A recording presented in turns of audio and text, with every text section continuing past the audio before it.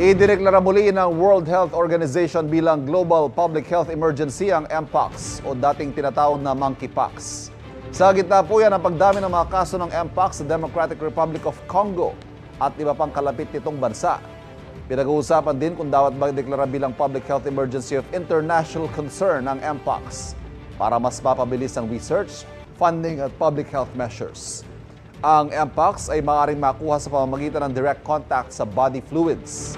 May mga sintomas ito tulad ng sa flu at nagdudulot ng sugat o skin lesion. Ito na ay kalawang beses na naging global public health emergency ang Mpox sa loob ng dalawang taon. Nakaalerto naman ang ating Department of Health kasunod ng deklarasyon ng WHO.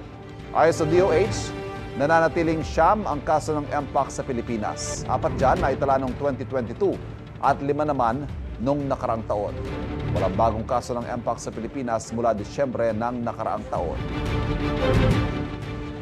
Kapuso, para laging una ka sa mga balita, bisitahin at mag-subscribe sa GMA Integrated News sa YouTube. Sa mga kapuso abroad, samahan nyo kami sa GMA Pinoy TV at sa www.gmanews.tv.